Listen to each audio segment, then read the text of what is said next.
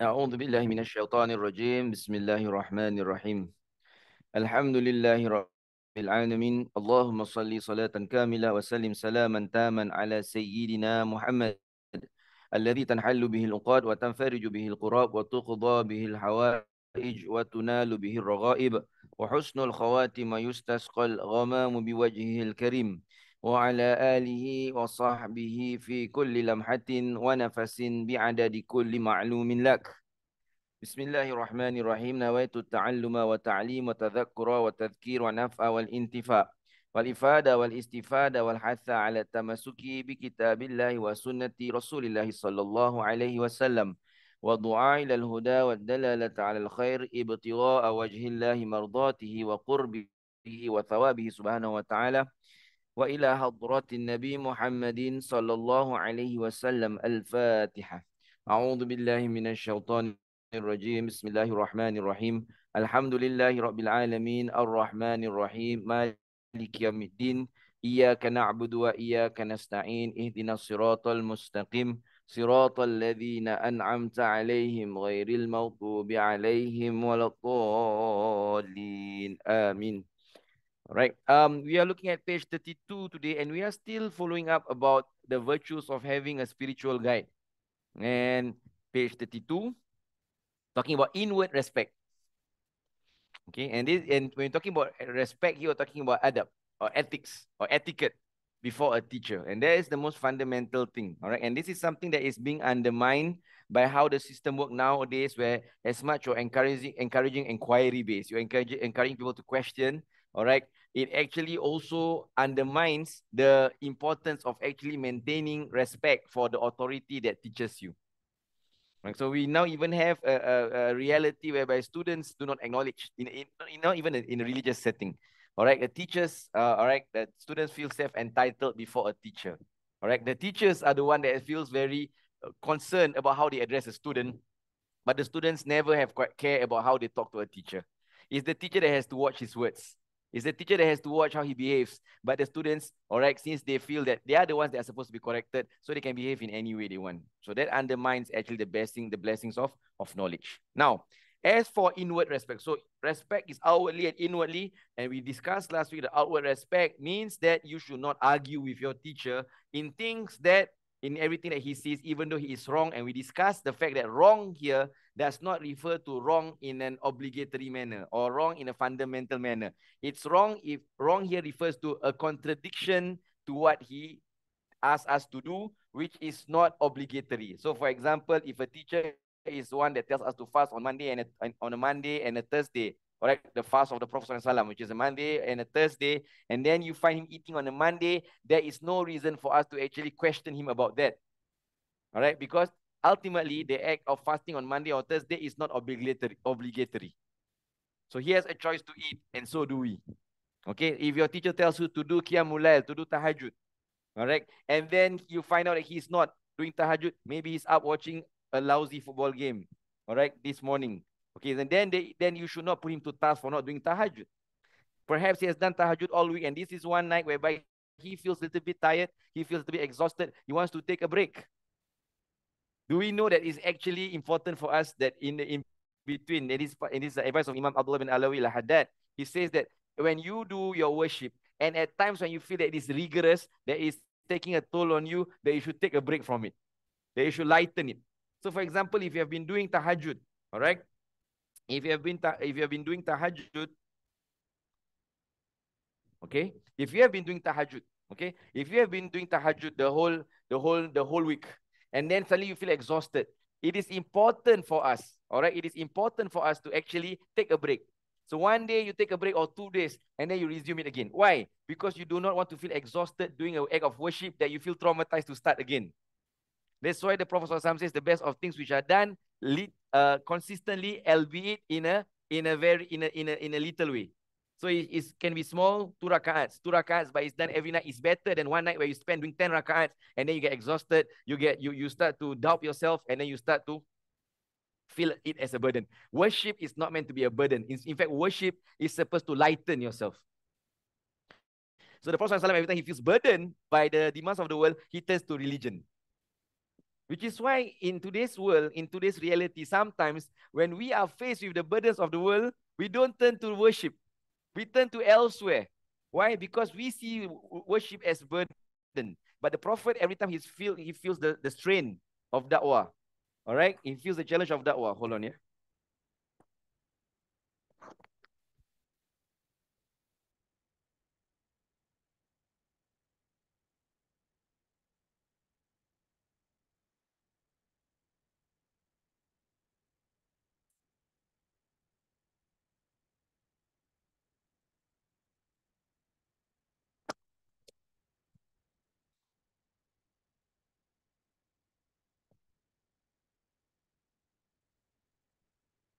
You know, the last, those of you who were following my Sunday night classes, right? If you follow my Sunday night class, there was a time I have to pause my class because my neighbor was sending me oranges. So I have to pause my class now because my neighbor just sent me pizza. All right. So not everyone does the not everyone does the Sunday class. Not everyone does the not everyone does the Sunday morning class. The only constant on these two classes is Brother Irwan. So Brother Irwan is a saint. All right. Uh, right? Okay, so if I open one more class and then the neighbor comes down and send down food again, confirm. All right, now back to this. Now, do not feel burdened. So if you feel burdened by act of worship, you, you that's why our in our reality today, all right, when we are faced by, faced by the realities of the world today, which is training us, we should turn to Allah subhanahu wa ta'ala. The Prophet, when he's faced with the, with the strains of da'wah, with the strains of calling to, to, to goodness, or with the, with the burden that the, that the community places onto him, he takes wudu and prays two rakat. All right, he takes wudu and he prays two rakaat. Okay, he feels lightened by it. So we nowadays we don't find the sol- the first thing that we do when we have a problem is to turn elsewhere. So we go on a frenzy now. All right, we go on a frenzy. We share, share, share, share things. All right, we, we, we, we even attack people who don't share things. We attack people for their silence. We do a lot of things, but we, we forget the most important thing is to turn to Allah subhanahu wa ta'ala. To seriously turn to Allah subhanahu wa ta'ala. Right. So scholars sometimes call it when you, when an ummah is faced with catastrophe. All right. One of the first things they should do is global tawbah. They should do tawbah.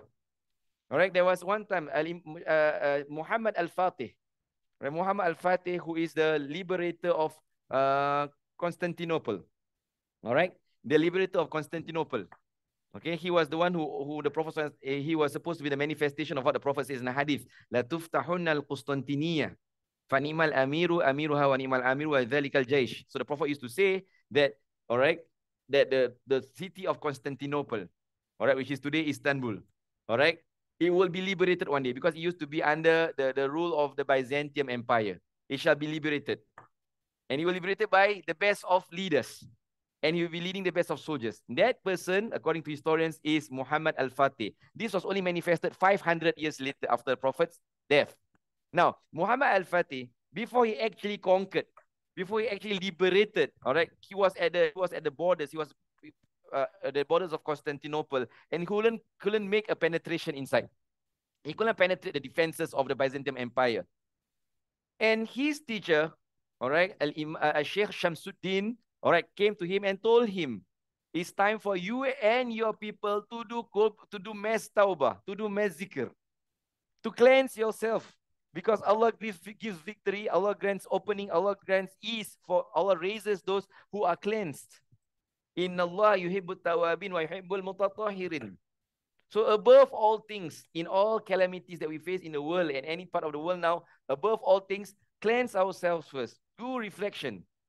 We are out looking for victim. We are, we are looking. We are, we are out looking for faults after faults after faults, highlighting faults after faults. Sometimes we forget to look at the faults of, our, of ourselves and how it might have been our own fault that has led to some of the calamities that's happening in the world today.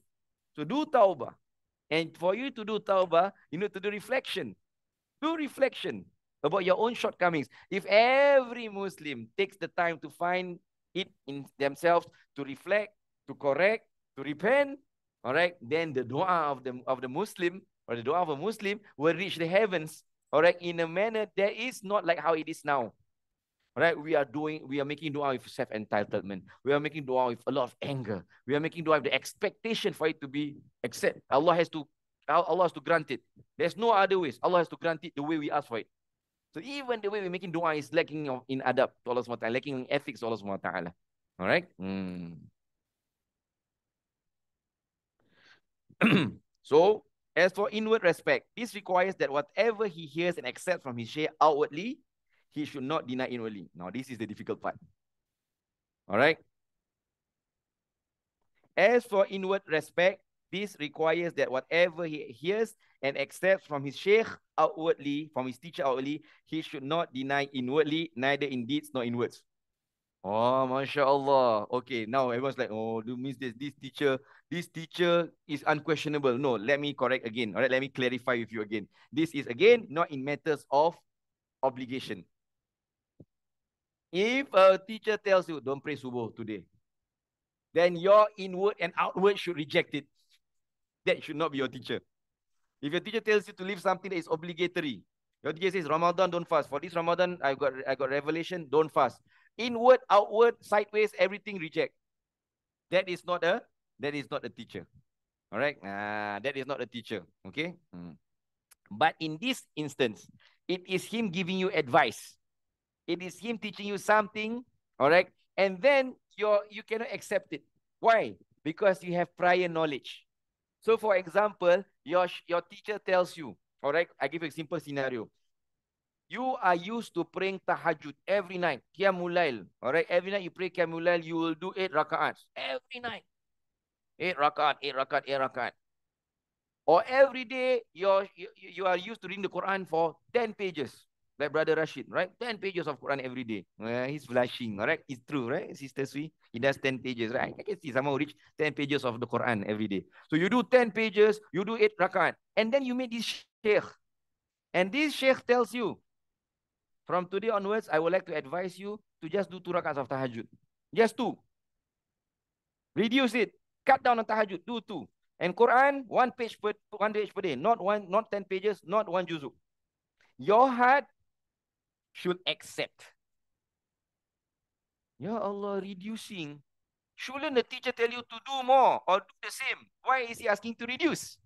Ah, why should you? So the first purpose, the first thing you should understand that teachers bring different things to your different things to your table.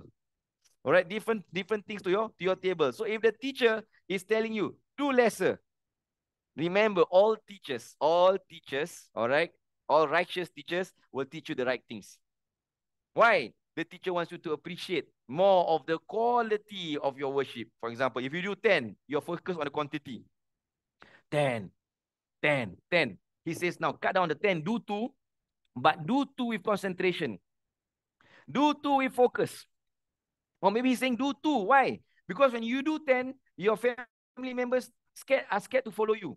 They are apprehensive to follow you. Oh, this guy is doing 10. My, my father is doing 10. My husband is doing 10. How is it? How am I supposed to follow him? Every night we do 10 rakats. It's so burdening. You do too. Everyone feels light-hearted to follow you. Ah, we do too.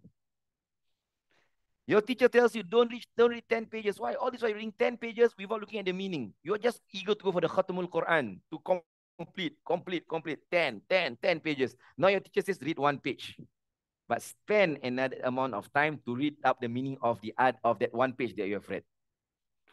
So teachers, when they tell you something, so what is important is for you to know at this point of time, the purpose of you getting a teacher is for you to acquire new knowledge. So whatever knowledge that you have, keep it. But when you meet this teacher, leave space for his knowledge now to have a place in your heart. It is unfair if you have your prior knowledge and then your teacher tells you one thing and then you decide to use that prior knowledge to object or to reject what the teacher says means that what? What's the point of having that teacher in the first place? Because you already made up your mind that you're not going to listen to him. So if you're having a teacher and he's telling you something, okay, put aside some space, accept it. So now if you have, that's why the great scholars, they have a lot of teachers. They have multiple teachers. Why? Because each teacher have a special compartment inside their hearts. Right? Every teacher have a special one. This teacher will give him this part. This teacher will give him this part. The more teachers you have, the more comprehensive you are in terms of your appreciation of how to better deal with the realities of yourself. All right. So this is very important. So accept all right. So if you cannot accept, it means that you have not actually been able to move aside to make space for that teacher. And for the sake of your relationship with your teacher, take a break from your teacher. Take a break. All right. Seek permission from your teacher. I take a break from it. From now. Why? I need to cleanse my heart first. I need to make some space for your knowledge to come in. It's not because of the teacher's problem. It's not the teacher's problem. It's our own challenge to actually remove, to make some space for the teacher's knowledge to come in. And also feel free to actually ask the teacher, like the companions ask the prophet. If you are like, for example, the teacher tells you to do something, and then you are feeling bur- burdened by that instruction, there is nothing wrong for you to approach the teacher and ask, what is why am why are we why what is your why are we doing this? Can I know from my I am not sure, all right, so that I can be certain about how to act on from there. All right, so it's not wrong to ask, but not not but it's wrong to ask for the sake of disputing. You ask so that you know why you are doing it. Ah, all right. So, for example, with Sheikh Ahmad Sa'ad, so when we first got to know him, there's a long list of litanies we have to recite every day. Long list of litanies we have to recite every day. Long list. The long list every year to do this number of wirid, this number of wirid. How many pages of the Quran? All right, a lot, a lot, a lot, a lot. And now it's reduced significantly to a very short amount of litany. And when we when when it is shortened, all right, we are, we are it, we feel a little bit lightened. Why? Because at the end of the day, we are all working people. So we lighten when we, are, we have to lighten litany, and last time our litanies was spread, the wirid was was spread across the day. After Zuhur, we recite this. After Fajr, we recite this. After Maghrib, we have to recite this. After you have to recite this. It's like packed. Now it's everything shifted to the morning and it's shorter. And now we start to feel lighter. Why? Oh, it's shorter. So what? We can concentrate doing other things for the rest of the day. All right. We have, and what's the greater beauty of it? Now that you've seen the long part of it, the heavy part of it, and the light part of it, now you on your own can decide. In addition to the light one, you can also start to add on to your own. So now you know your limits from the biggest extent to the smallest extent. And this is the way of Jibril alayhi salam when he taught the Prophet sallam the prayer time. He comes at both extreme of times, the earliest of times and the end of times. He wanted to teach the Prophet sallam about, all right, about the, for example, he wanted to teach the Prophet when is the time to pray Asr. When did he come? He came right at the end, all right? He, he, right, he, he came at the end, at the end of Zuhur, or at the end of Zuhur, all right, and at the end of Asr. All right, near the end of Zuhur and near the end of Asr. So show that when is the earliest of times, when is the latest of times.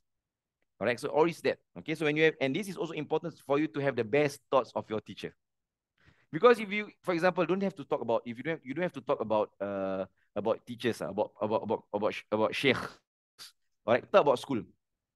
Or talk about now. Okay, so brother, brother, brother Rashid and sister Sui now, all right, loyally come to my house every day because they live nearby to come to my house for classes on, on Sunday. Now, if you're going to come to my class with doubts, will you come? Eventually, you won't come. Yeah, you, you start be phony. Ah. Can we believe him or not? It's serious or not? You come because you are certain. You come with the best thoughts that this person, he's got the best intentions and he's not teaching me anything that's fundamentally wrong. So that is how you get the beneficial knowledge. You come to school, one of the barriers to getting beneficial knowledge in school, in normal school is when you start to doubt the teacher. When you start to doubt the teacher, it will have an overall effect on your understanding, on your appreciation, and your own being. Your body language in class will be different. All right, from someone who trusts the teacher, who has so much yearning for the teacher's knowledge, who have respect for the teacher's authority. All right, uh, so this is this. Okay, if this is not possible, then back to the book. Then he should leave the company of the sheikh until he's in a state of affairs in his complete harmony with his outward self. Uh, you know, our teachers, their understanding of this. They understand if you are, they understand if you are struggling with this. They understand if you are that he, they can sense. They can sense. You know, I don't even. Uh, that's why one of the benefits of being a teacher myself. Teacher, not a not a religious teacher. A teacher in school. When I deal with my students, you know, when I look at student, when I teach a student, right? When I go, when he goes for one-to-one consultation with me, extra class, I can know from the first student's face that whatever I say to the student, he or she is not convinced. I know that there's a lot of question marks in the head. I can tell. Even though the student is nodding the head, I know nodding is a sign that you are hoping that you don't see through me, that you don't, that you actually don't understand. I will know. And you think your teachers, your your your shuyukh, your sheikh, they won't know if you are having a struggle inside. They will know, even if you try to look like as pleasing as possible in class. If you're in front of your sheikh, you like to look like you have no, no, no trouble. He will point you out. All right, he will point you out. All right. Uh, so it's always good. So that's why when you're when you're present before a teacher, take a clean heart. Put your heart on a clean slate and just go in there and let him deal with your heart. All right, let him deal with your heart. All right, so you just open the door and let him deal with your with your heart. Again, I give the disclaimer: all things obligatory is is is, is standard. Means that if things only in matters is obligatory, right, there, there's a thing, there's a line here that you need to draw. If only things that are obligatory is not challenged. All right, if all things that are obligatory is not is not challenged. Okay. Mm. Now, after that, okay, now after you have gotten the, the, the value of having a good teacher, now that you have got gotten a good teacher, you have gotten a good experience, now is the aftermath of it. All right, now remember, having a teacher is not a premise to brag. Oh, my teacher, my teacher, this is my teacher. But Ustaz, you keep telling us about your teacher. I'm telling you about the teacher so that you know I have a teacher. Why? Because look at the first page of this uh, look of this spiritual guide of page of page 30 the conditions for you to learn from me is that i have to learn from someone so that you know i have a basis for my knowledge it's not because i want to happily brag about my teacher my teacher is someone to be proud of but i'm not a student he should be proud of that's the difference all right my teacher is someone that i'm proud of but i don't think i'm a student that my teacher should be proud of there's a difference but i'm telling about my teacher so that you know about when i'm teaching about having a teacher I can teach this topic because I have teachers. And should and so should we. All right, so should and so should we. Ah, all right, so should we, we should have the, a teacher. All right, now back to this. Okay, um, going back to uh the the the, aftermath. So once you have a teacher, so it's not for you to go around bragging. I know I'm a, I'm a student of so and so. I'm a student of so and so. Careful. All right, the scholars always tell us, do not brag all right, too much about your teachers because if if you do something wrong, it will be a reflection. It will be used by people as a reflection of your teacher, even though he's not like that. So careful how you carry your teacher's name. All right, and that's one of the virtues of having a teacher as well. It's like you having a parents, right? Your parents always tell you, do not, do not, do not cause shame on my face. All right, what's the Malay saying? Do not rub, do not rub. Uh, arang, arang is what? Uh, ah, do not rub charcoal on my face. Right? as a Malay saying, right? Jangan jangan conteng arang kat muka mak. Don't rub charcoal on my face. Alright, but you rub it during NS anyway, alright, using the camo, camo, camo mask. Ah, never mind. Alright, but do not rub charcoal on my face. Means what? Do not do not shame me. The same goes for your teachers, because your teachers are your spiritual parents. Do not bring shame to them. How you conduct yourself, how you behave yourself should be dignified. Eh, that's why Sayyidina Abdullah bin Umar anhuma, he, alright, he does not narrate a hadith unless he's certain about every word of that hadith. He makes sure that it's accurately from the Prophet. He will make sure that it's essence that it is from the Prophet through and through. Then he narrates the hadith. He doesn't loosely say the hadith. Why? Because it becomes it, he doesn't want to misrepresent the Prophet Which is why some of the adab of our scholars, when they recite the hadith, they always end up with saying, "Au kama qala Nabi Wasallam." Au kama qal. Or as or, or like it is mentioned by the Prophet. How come call means or like when it is mentioned by the Prophet. Why? Because we can never, we can never reach the level of understanding, presentation, articulation of the Prophet. So when we're presenting a hadith, we're saying a hadith, we appreciate that that might not be the way it is supposed to be presented by either by articulation, by melody. In fact, Imam Shafi'i, he disallows people from mentioning the hadith of the Prophet if that person does not know how to. Imam Shafi'i is very particular. There's a tune to it. There's a tone to it. There's a way to it. There's a grammar to it. You don't anyhow say it. You can say the spirit of the of the hadith. You cannot articulate the exact of the hadith if you don't know how to read. If you're not, if you're not, uh, if you're not uh, illuminated with the knowledge to do so, then don't do it. It's Imam Imam Shafi'i. Nowadays people just wow anything of the hadith you just throw. All right, in IG, everything becomes so easy, becomes loose. All right, uh, okay. Now that you have gotten a teacher and you're on that path, so what is it that Imam Ghazali is telling us? Now you watch your steps. He says, he means we. Uh, all right, he here means we. He should be one. He who has a teacher now, right, who has a sheikh now. He should be one that he should not spend his time uploading his teacher's photos on IG. You know, right? Tell or picture of me with my sheikh, my sheikh. All right, don't. Some people like to do that. All right, they take a lot of virtual pictures of, of them their sheikh, but in the reality, they don't, they don't, they don't attend. Some people are like that. All right, so they use their sheikh as the poster boys. All right, this is my sheikh. All right, but when the sheikh is in town and the sheikh is presenting, they don't turn up. All right. Mm. He should be warned. All right. These are this is what my teacher says. These are called the uh of these are called the seasonal students. The seasonal students. All right. They come in seasons. They come in, they come in seasons. All right. He should be warned to refrain from keeping the company of immoral people. Now that you have a teacher, now be warned to refrain from keeping the company of immoral people, so that he may oust from the courtyard of his heart any loyalty or friendship with the devils from among jinn and human beings and purify himself of satanic habits. In any event, he should choose poverty over wealth. Oh, wait, before all this, Ustaz, now we become antisocial already. Now that we have a teacher, we're supposed to hang out with people anymore. I'm all my friends are gone. Remember, this is your stage as a student. So when you are when you have got a teacher, now that you've got the knowledge, like you have you have something like when you have when you are carrying something, you are queued up, you queued up for so long at a stall, all right, carrying a hot dish. You're walking to your table. Now every drop matters because you queued so long for this. All right, for your soup, for whatever meal, you're carrying it. Now, will you, you be distracted by on your left, right? No. You just focus on the food, on the food you're carrying, and to place it on your table so you can consume it. Once that you are seated, it's easy. The food is there, then you can start eating and observing, talking, socializing people. The same goes. Now, your this message from Imam Ghazali is standing for people who have who are on the path of getting knowledge. Before your knowledge matures, before you appreciate the knowledge, preserve it first. Do not be distracted.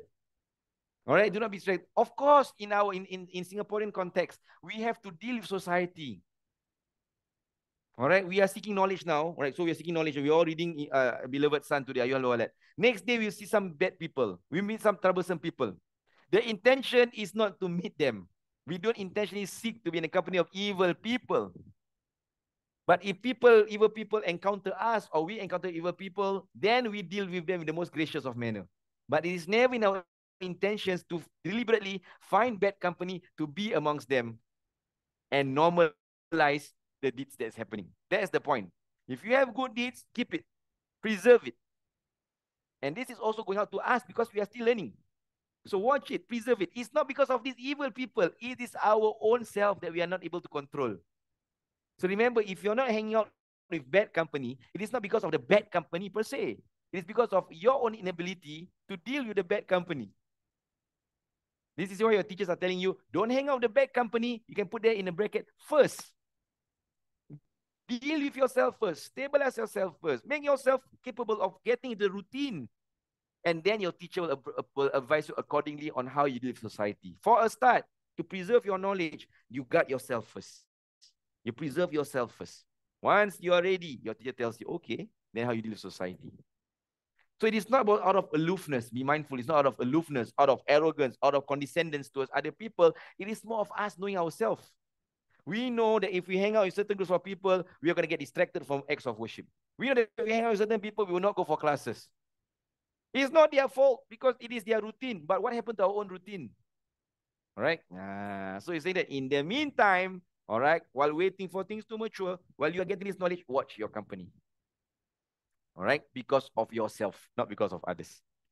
However, gradually you will find, all right, with time, you'll find how to deal with society. But as a general principle, anyway, we don't seek to hang out in a bad company. As a general principle, we are nice to all kinds of people. We are nice to all kinds of people. We are nice to everybody. Nice to everybody right? We are nice to everybody, but keep those who are good closer to us. All right. Uh, you are nice to everybody. All right. But those who are closest to you, all right, those who are closest to you are those who can benefit your heart. Those who are closest to you, those can benefit. Those who have no benefit to you, you can be nice to them, but you know they cannot be in your inner circles. Why? You will, it will cause, it will, it will be detrimental to yourself. Not because of them, because of your own self.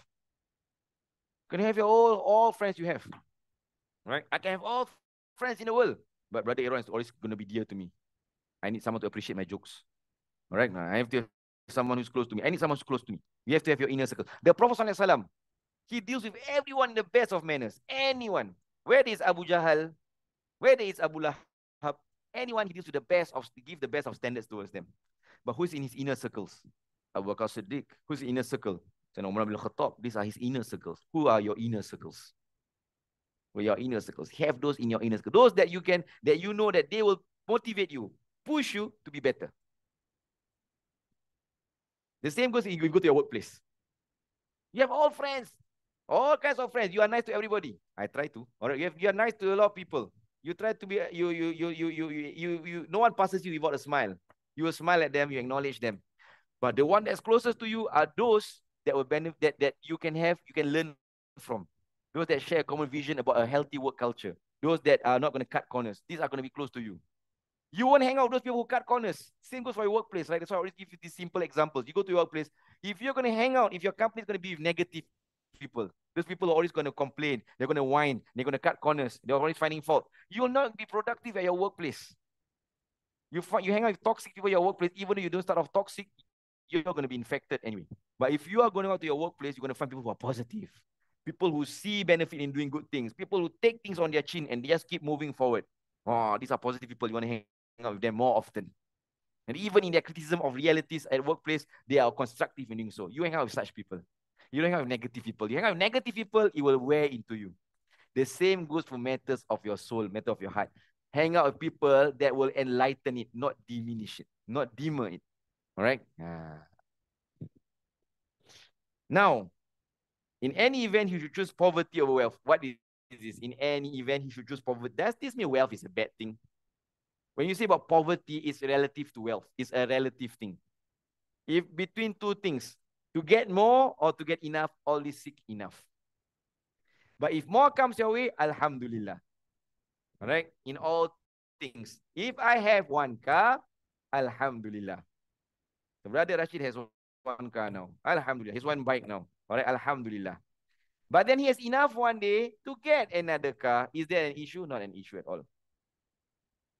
All right. But if you have to choose, always start with the one that always seek, all right, to have enough.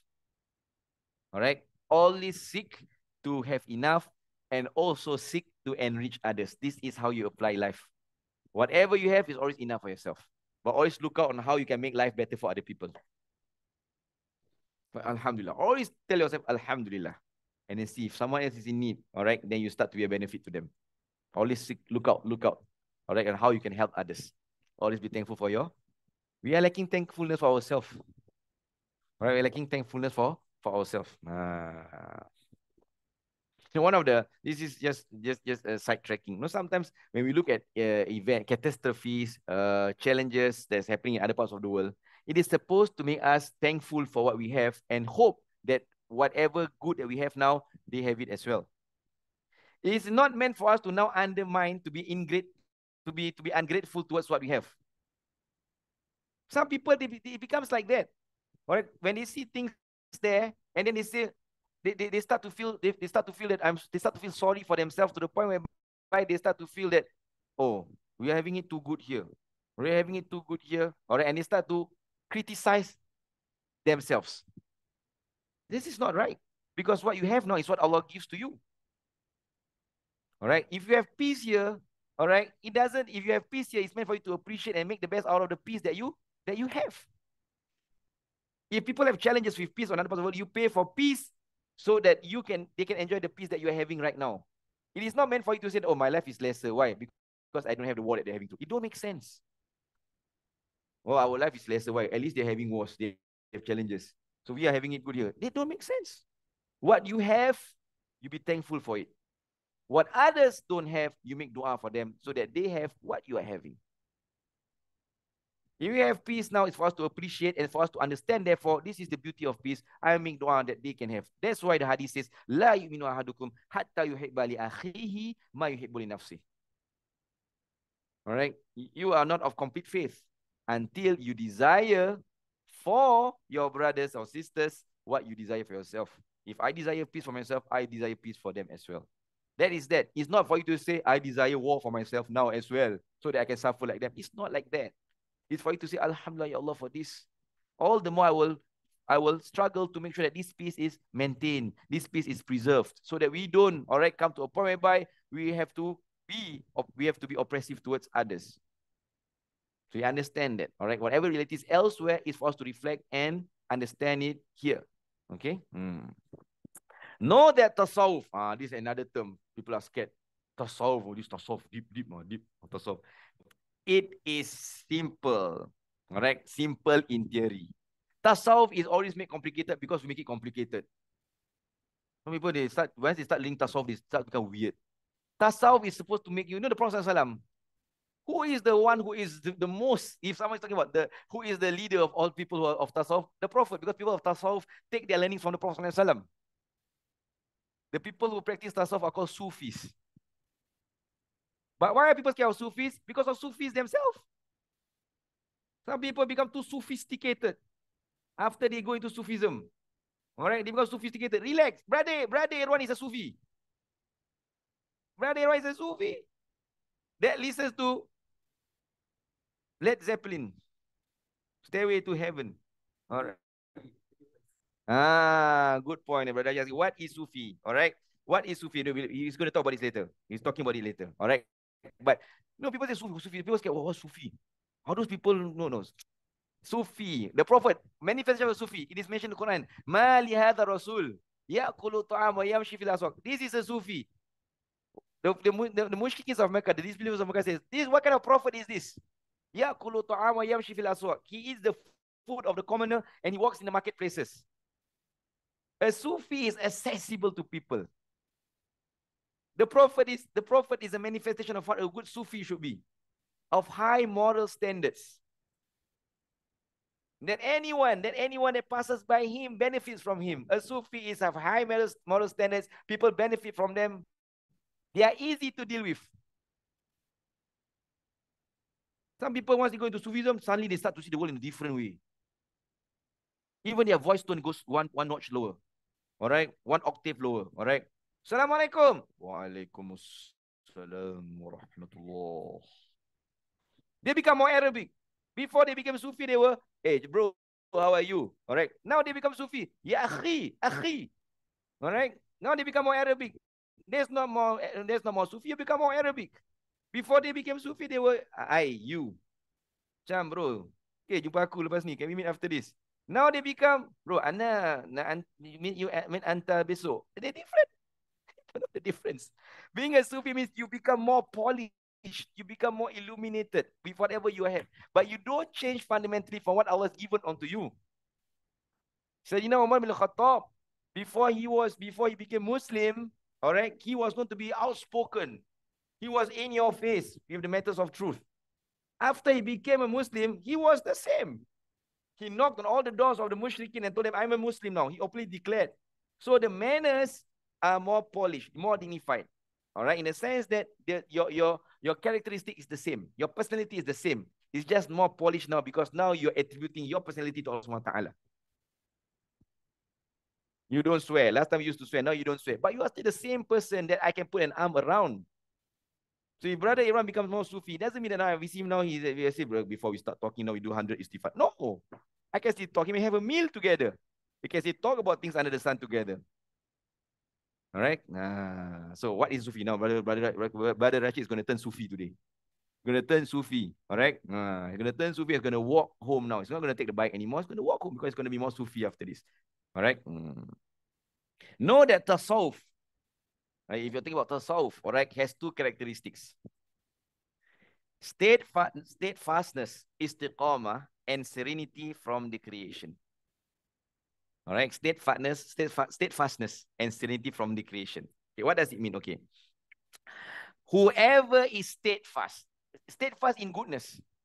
So it is important for us to work towards steadfastness, towards istiqamah. The dua that is taught to us by our scholars is that Allahumma jamilna bil afiyati wassalama. Oh Allah, beautify, beautify us. All right. Bil afiyah, with health, wassalama. All right. With tranquility. Wa haqiqna bit taqwa wal istiqamah. And strengthen us. All right. And strengthen us. Strengthen us or affirm us. All right. Bit taqwa with piety and istiqamah and steadfastness. So steadfastness here means that you are always in a state of goodness. You strive to do good consistently. To be consistent in your goodness towards Allah SWT. Consistent. You pray five times a day. There's no you're going to pray four. You're going to pray five. Consistent. If you are going to wake up at 5 every morning, you're going to wake up 5 every morning. You are going consistent to your acts of piety even towards creations. All right. So that is steadfastness. You're going to be kind to your spouse every day, not selectively, not just on anniversary day. You're going to be kind to your neighbors, all right, on any day. All right. Uh, this is steadfastness. So that's simple. So first, tasawwuf is what? Steadfastness. So a Sufi is someone who is steadfast. Ah, Brother Rashid asking you now. A Sufi is someone, a Sufi is someone who is steadfast, istiqamah, in good things. So in general, if you see someone who is good generally, a Muslim brother who is good generally, or sister who is good generally, then that person, even though he, he doesn't declare himself as a Sufi, he is carrying Sufi characteristics. Ah, sometimes the one who claim to be Sufi, not so Sufi. But the one who is not Sufi, no, ah, Sufi, I'm not Sufi, I don't know say. They are actually quite Sufi. They are very Sufi.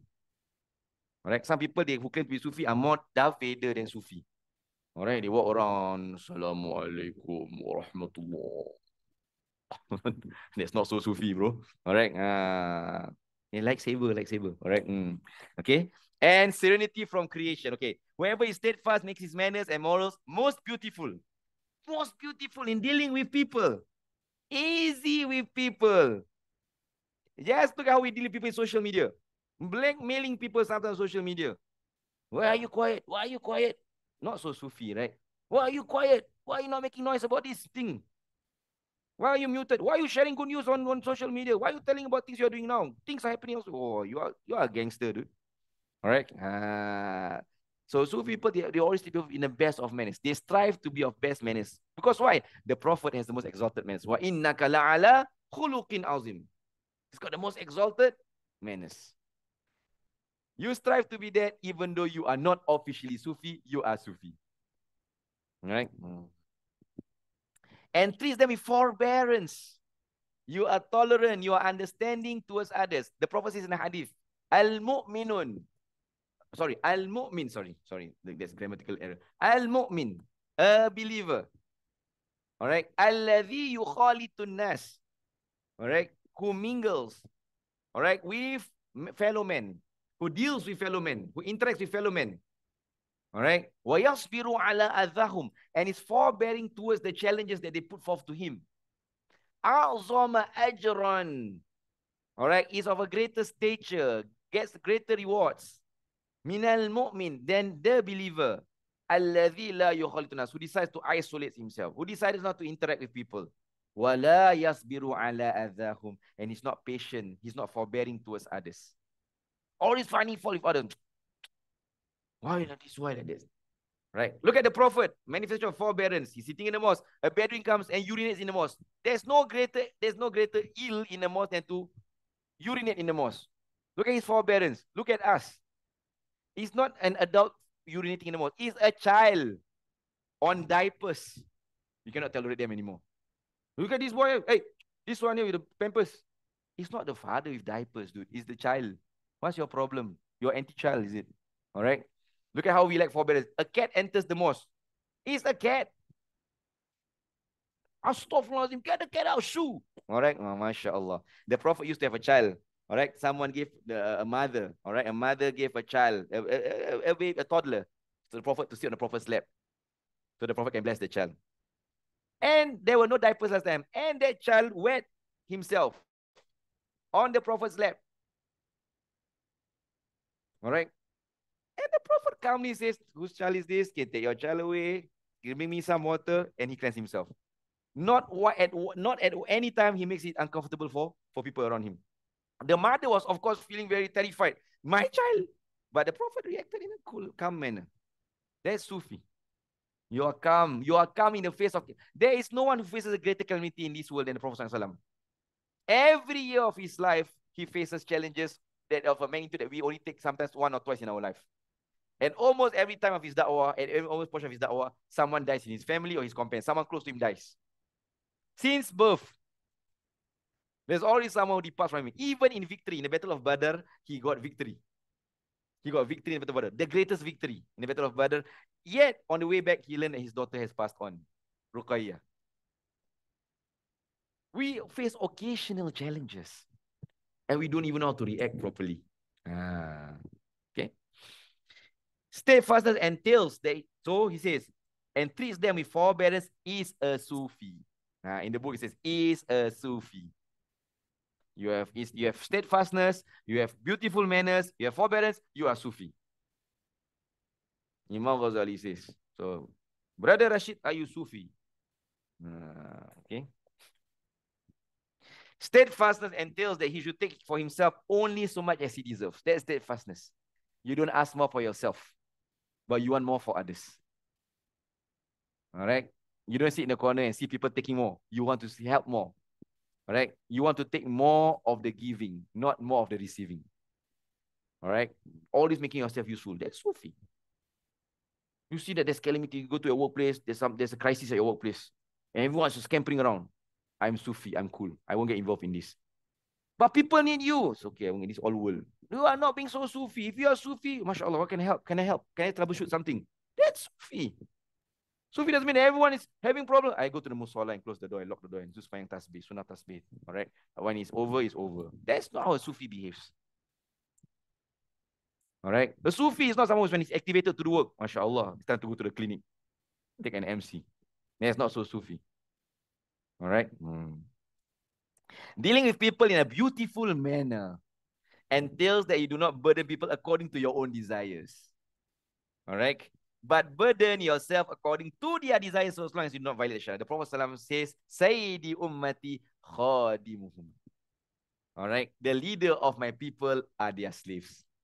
Means what? The people who, the one, the, the leaders are the ones that always enslave themselves to the needs of the people. They always look out for the people. That's why the Prophet sets the standards, and Abu Bakr Siddiq set the standards. Every time they become leaders, all right, they are the ones that work the hardest for the community. They don't shake their legs, make, give commands. They don't arrow. They take the arrow. All right. Uh, so you can be Sufi in many ways. All right. You can be Sufi in many ways. You go get your hands dirty as well. You don't just go around and say, do this, do this, do this. You get your hands dirty, get it done as well. The Prophet ﷺ, there is not one mission that the, that the, the companies take part in that he's doing something. When they build a mosque, he was getting his hands dirty building a mosque. When they are in a battle, he's always the closest to the enemy. In the hadith, they says the, even the companies take shelter from, from the enemies behind the Prophet. Everything is at the front of it. All right, everything is at the front of it. In all goodness is at the front of it. There's a sign of a good leader. There's a sign of a su of a Sufi. Wallahu a'lam bisawab. Hey, we still have time. Sorry, sorry, we have time. We take it. It's 10.52. This clock has misled me. Clock is not so Sufi. All right. Then you ask me about ubudiyah. Uh, ubudiyah. Becoming a servant of Allah. Uh, if you, what does it mean to be a servant of Allah? What does it mean? Okay. It comprises three things. If you have a question, you can just ask. right? Hmm. The first, the careful observance of the command of the sacred law. Whatever Allah tells you to do, you do. Whatever Allah forbids you to do, you for you you leave it. All right. Whatever religion encourages you do, you try to do it as best as possible. Whatever the, the, the religion discourages you from doing, you don't do it. All right. This is calling for, you can put that aside, discipline. A Muslim is disciplined. All right. If you have to pray Zuhur, you pray Zuhur. If you have to pray Asar, you pray Asar. Do not leave your prayers. So that is discipline. Careful observance of the command of the sacred law. Second, all right, if being, being a servant. So the first step to being a good servant, all right, is for you to be disciplined in all that Allah tells you to do and what He forbids you from doing. Second, Satisfaction with decree, faith, and the dispensation of Allah the exalted. This is next level already. Humility. Why is this the second part? Why is this second layer? The most the next higher this is the higher layer. Because sometimes when we are doing good, we feel entitled. We think that we are getting things because we are good. For example, there's a calamity somewhere. We make dua and then we say when it's granted, when when things become better, it's because of my dua. No, it's because Allah ordained for things to happen. Our dua is just a means of worship. It is an opportunity Allah has presented to us for us to be connected to Him. But ultimately, it's Allah who decides. Can Allah decree something without our dua? Of course, He can. So, the purpose of the second part about Ubudiyah is for us to be humble. No matter how good we are, no matter how, how good we are, or we say, Hadha min fadli Rabbi. This is from all the good that Allah has given unto me. Just last week, just last week I was at Hasanah Mosque. Right, last Friday I was at Hasanah Mosque. So I, I happened to meet my teacher, Ustaz Afandi, after he was sitting at the back. Right? Uh, before after Isha praise was sitting at the back. So I was just talking to him. Right? So I found out he was he's now 75 years old. Right? He's 75 years old. And one Jama'ah, another another elderly Jama'ah, elderly than me, right? Because I'm young. All right, another elderly Jama'ah, he comes by and he met Ustaz Afandi. And he said, This man, you should, you should shoot Ustaz Afandi. This elderly man said, This man, since last time, all right, 20, 30 years ago, till now, the voice is still the same. Same manner, same voice. And I said, I testify to that because I knew him. I, I was, I was, I, I knew him since I was in primary, since I was in kindergarten. He's the same, same manner of walking, same voice tone, same everything is the same. And you know what my teacher says? هذا من فضل he put up his hand هذا من فضل he put up his hand هذا من فضل ربي this is from what Allah has given unto me reverse it to us Ya Allah, you are the same since last time. Tengok kaki lah. Look lah, who is this you're talking about? Every night tahajud. Tu rakaat. Alright. Alright. He puts Hadha min fadli rabbi. Make dua for me. He says that. Hadha make dua for me.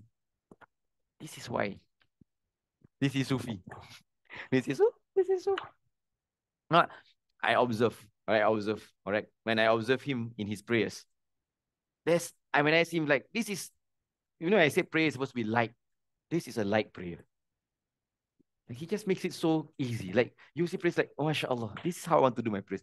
It's easy takes his time. He doesn't rush to his prayers. Whatever he can capture, he capture. He doesn't rush to his prayers. So there was one time eh, at, at Masjid Omar Kampung Melaka. It was Asar. So I was chasing. I was chasing for the last rakat of Asar prayers. I saw him strolling into the mosque. I saw him strolling into the mosque. Steady. And as we enter into the mosque, they were in the last rakaat. I was about to rush. Then he looks at me and Steady, relax. Don't rush. All right. They gave their salam. He told me, we pray together at the back. There's no rush. If you are meant to get it, you get it. In fact, it is makruh for you to rush to your salat, to run, to hurry to your salat. No, steady. If you're meant to get it, you get it. He told me before. It's one of the uh, one of the bad habits of us is that when you're taking escalator up, for you to climb up the escalator. The escalator is going up anyway. It's not the staircase, it's static. It's going up. The purpose of the staircase is for you to move up effortlessly. Why put effort in something that is supposed to make us effortless? If things are meant to be the way it is, appreciate the way it is. I want to look at him, I wonder, no wonder this guy is, and this, this teacher of mine at 75 years old, he's easy. He doesn't fall ill easily. He just, why? Because he doesn't rush. Takes things in stride. He's calm because he lets, he lets, he lets the world, all right, he lets the world evolve without him having to compromise himself. We are chasing a lot of things nowadays. We have captured not, we have captured nothing. No chasing so many things, we have not captured anything. All right. We need to be easy on ourselves. All right. The, the third, forsaking pleasing yourself in order to seek the pleasure of Allah. All right. This is refining. So the second one is humility. All right. Satisfaction decree is talking about humility, knowing that there's a greater order. And thirdly, all right, forsaking pleasing yourself in order to seek the pleasure of Allah, the exalted, means refining in a sense that always seek, all right, be thankful with the little that you have, all right, and always try to give more to others who have little. Okay, so always try to control yourself, all right. This is the most difficult part actually, for you to when your desire says that I want to drink, I want to eat more. If you say it's okay, all right, I control. Easy or not? No. If the food is good, if the food is good, tambah, tambah, tambah, tambah. You will still tambah. Brother everyone is testing every Tuesday night. He sees how powerful my, my lack of Sufism is. All right. All right. There's no such thing as first serving for me. The second, third, fourth. Then this fourth is not good. Why? It should be in odd numbers. So it's five. Like witir. But this guy does only one rakah of witir. All right. Instead of doing five, he does one. But for food, he does five. All right. so how selective we are. All right. Uh, okay. So we end at the the third. All right. And we shall continue again next week. Allah Ta'ala alam bisawab. I hope to finish this book. I, I I'm not done yet. I hope to finish this. Uh, I hope to finish this book by the end of this year. Hopefully, ideally, but but uh, chapter uh twenty second dakwah is a long chapter. All right. So hopefully, if we stretch into next year, it's fine. All right, it's a free course anyway. All right, we'll go we'll stretch at the most. I'll try to not go into February. So if we were to stretch this, we'll end this book latest by hopefully by by January next year, inshallah. Because we have a long list of programs, inshallah, for you to benefit from next year. New set of programs. All right. Wallahu alam bisawab. Wa sallallahu ala sayyidina wa maulana Muhammadin wa ala alihi wa sahbihi ajma'in. Alhamdulillah alamin. Assalamualaikum warahmatullahi taala wabarakatuh. Waalaikumsalam. Thank you, Ustaz.